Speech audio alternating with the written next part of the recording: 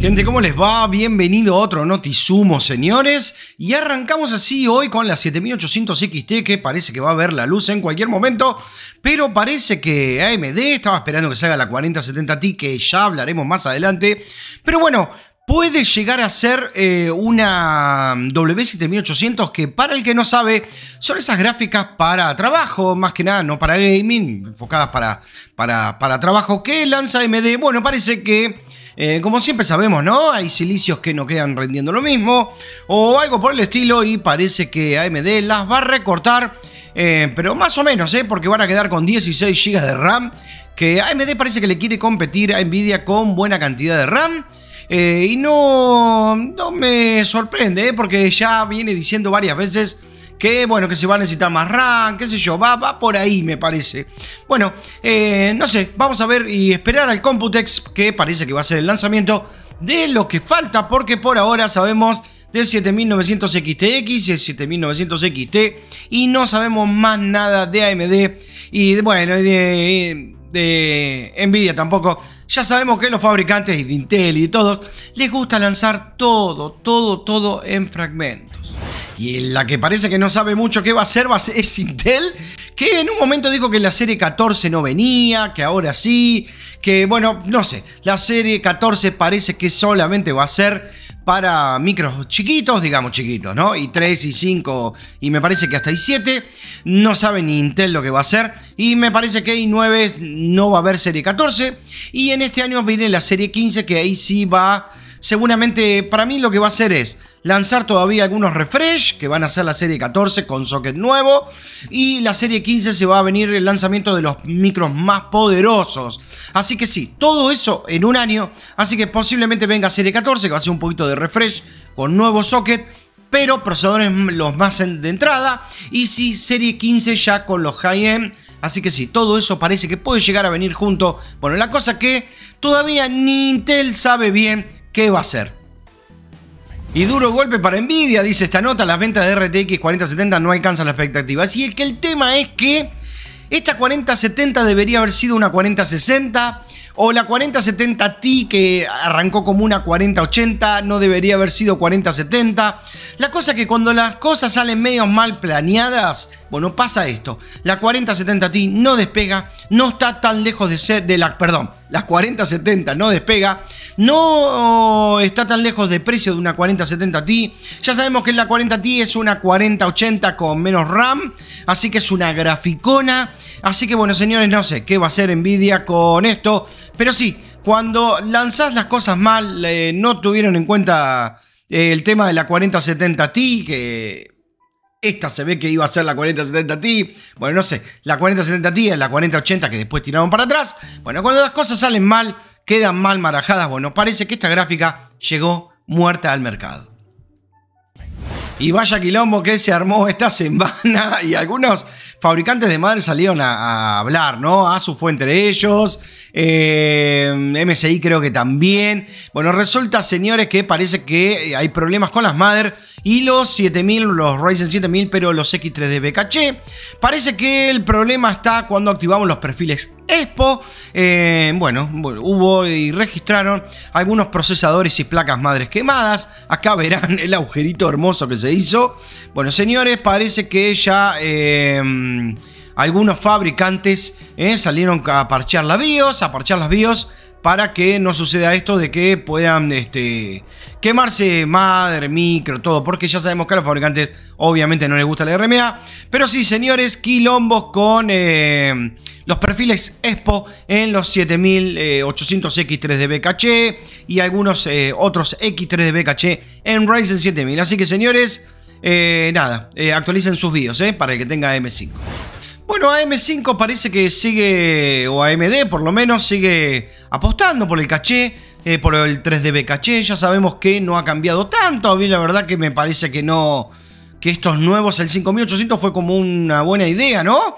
Pero en lo que es Ryzen 7000 parece que no es tanto, eh, tanta complejidad, tanto precio, tanta cantidad de caché. Y bueno, procesadores no overclockeados, todo por un, rendimiento no tanto. Bueno, pero por ahí AMD tiene algo reservado y Zen 5 parece que tendrá.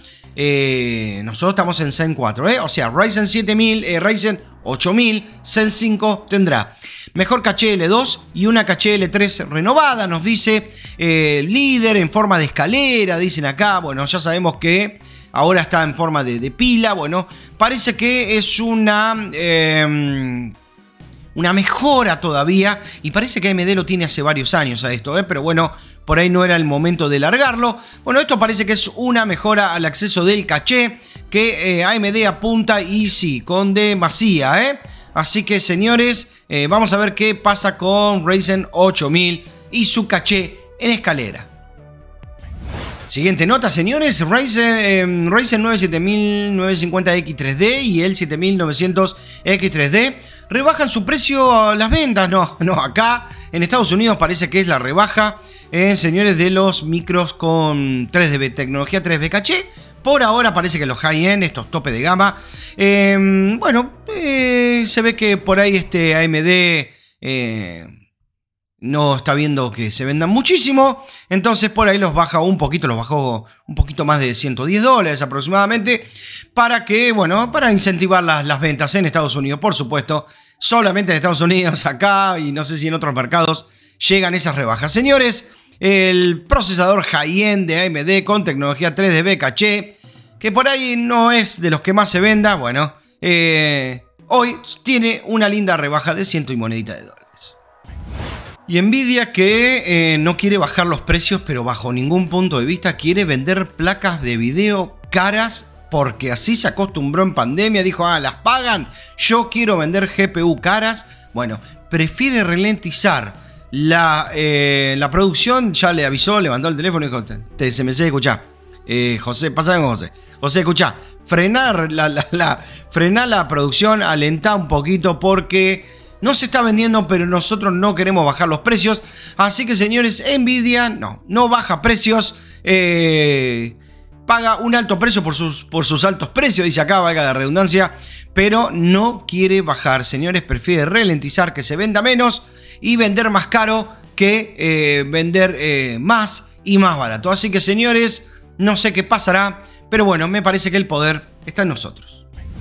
Bueno, señores, una noticia interesante porque tiene como un trasfondo, ¿no? MSI confirma la GeForce RTX 4060 4060 Ti con 8 GB de VRAM. Eh, no podían salir con menos de 8 GB de VRAM. La 3060 Ti por ahí puede salir con 12. Pero bueno, los fabricantes ya nos están avisando que 8 GB de VRAM va a ser la base en unos años. Así que el lanzamiento era, era, con eso o con eso. Eh, señores, pero bueno, parece que puede llegar a ofrecer o puede llegar a ver alguna interfaz de 12 GB de VRAM que parece que va a ser lo que vamos a necesitar en un futuro. Señores, eh, MSI ya confirma, ¿eh? RTX 4060 y 4060 Ti con más de 8 GB de eh, VRAM como eh, se viene avisando hace bastante que van a necesitar las placas gráficas. La subida de precio de las placas bases es real, 25% más en solo dos años. Esto es en general para todo. Ha subido los componentes de PC en casi 25, 30% y más también, le diría que la placa de video más eh, en los últimos años, señores, a partir de la pandemia y no quieren bajar nada. AMD prefiere no vender micros. Eh, Nvidia prefiere no vender placas, pero no quieren bajar los precios, señores. Eh, imagínense que en Alemania, ¿no? Donde la inflación debe ser casi nula eh, o por muy, muy debajo. Eh, acá dicen los Países Bajos desde el 2020 al 2022 subió un 30% placas madres. Placas madres, microprocesadores, placas de video, todo 25, 30, 40, 50% más caro. Bueno, después se quejan de los despidos y después se quejan de la poca venta en, la producción y prefieren ralentizarlo. Pero así el mercado lo están manejando los fabricantes y hay una, una subida. Eh, la tecnología ya sabemos que con los años tiende a ser más barata, por la fabricación es más fácil, pero bueno, parece que van a mantener vender caro y vender menos. Así les parece bien. Y vamos a pasar a algo más, más para reírnos, porque la verdad que los notizumos son sangre, sangre y sangre. ¿eh? Meta implementa agentes IA para ayudar. Sí, señores, sí, señores. Eh, Nio, si estás ahí, guarda que puede andar Smith porque, señores, ahora sí, va a haber agentes IA eh, combatiendo el, esto va a estar buenísimo, señores. Eh, pero sí, háganse una idea, señores. Llegó para quedarse la inteligencia artificial. Vamos a ver si vamos por un buen camino y bueno, pero esto me encantó, ¿eh? yo se los quería traer. Bueno, señores, y como les dije, ¿no? De la nota anterior, también les traigo esta, que sí, por supuesto, hay un nuevo firmware a GESA para los Ryzen 7000 para evitar que se quemen. El, problema está eh, en, los perfiles ESPO, ¿eh? Así que, señores, nada, muchas gracias, Nico Villarino, por mandarme la nota. Eh, de los eh, Ryzen 7000 que se estaban quemando, me dijo, actualiza tu placa madre urgente. Me dice, todo, todo escandaloso. Bueno, señores, pero sí, eh, AMD confirmó, por lo menos ya saben dónde está el problema. Y bueno, nada, pueden arreglarlo rápido, limitando el voltaje máximo a 1.3 volt en el SOC. que ahí se ve que estaba el problema en los perfiles ESPO. Así que salieron enseguida a arreglar el problemita. ¿eh? Acá dice AMD, dijo que los usuarios afectados pueden ponerse en contacto con AMD. Bueno, AMD sale, eh, por supuesto, enseguidita a hacerse cargo de todo y a solucionarlo rápidamente. Es lo bueno. Y no puedo garantizarle notas eh, que con falta de sangre. ¿eh? Intel cierra el primer trimestre del año con pérdidas récord, señores, sí. Siguen perdiendo plata. Eh, bueno, hay que ver si lo comparan con años anteriores. Recuerden que venimos de pandemia, pero 35 más bajas con respecto al otro año. Así que, señores, sí, siguen a la baja. Bueno, esto puede ser porque ha perdido un poquito de mercado por ahí con Intel, con AMD, digo. Eh, pero ya sabemos que igual lo tiene. Hay que ver con el tema de precios y esas cosas, pues ya sabemos que todo es más caro. Y bueno, si es culpa de ellos, háganse cargo de que están perdiendo porque están ustedes ralentizando las compras subiendo eh, los productos. Así que sí, señores, 35% más de pérdida o menos ganancia, que vendría a ser que es diferente, para Intel en este año. Y hablando de errores y fracasos, señores, bueno, pero acá no venimos a ver eso. Eh, la, primera RX 6400 totalmente pasiva, sí. Hubo un loco que le pegó un chasis enorme ahí con hitpipe, bueno, una guarangada. Pero sí, señores, las, las la fracasada 6-4 totalmente pasiva, parece que anda muy muy bien. Así que señores, sí, no sé en qué gabinete lo vas a poder poner. Y me parece que no podés acceder a, después a cambiar el bloque o algo. Pero la cosa, señores, que eh, sí, podés este, tener una 6-4 totalmente disipada eh, pasivamente. ¿Qué tal? Ah, no te olvides de tener PCI Express 4.0 porque si no, no le sacas nada. Señores, filtrada hoja de ruta de AMD para hasta el 2026. ¿Qué tiene preparado? Bueno, parece que se viene algo de, de Threadripper nuevo, señores, muy copado eh, para servidores. Y por supuesto se viene Zen 5, que ya van largando de a poquito, pero sí, se va a venir posiblemente los 2 nanómetros como resultado final, señores. Así que en Zen 6 Así que bueno, nada claro dice frente a Intel, pero bueno, ya veremos qué, eh, qué pasa, señores, con eh, posibles, eh, posibles este, optimizaciones, menos nanómetros. Bueno, si sigue bajando el nanómetro, por supuesto las potencias van a ser muchísimo mayores. Así que, señores, nada, esperemos, esperemos, porque filtraciones son chusmeríos. Así que bueno, nada, veremos qué, qué dice y si llega en el 2026 ¿Eh? A 2 nanómetros, Zen 6 a 2 nanómetros, como dice acá la hoja de ruta. Bueno, ya veremos, va a estar muy interesante. Y a esa nota de alegría le tiro esta, ¿eh? TSMC con problemas, incendia una fábrica, pero parece que no afectó a nada. Y dice, se retrasan los 2 nanómetros. Bueno, ¿viste la nota anterior con la hoja de ruta? Bueno, parece que no llega nada, no vamos a ser tan futuro, tan este, dramatista, este, con tanto dramatismo, quise decir. Señores, tanto el 2 nanómetros en riesgo, no, parece que no, señores.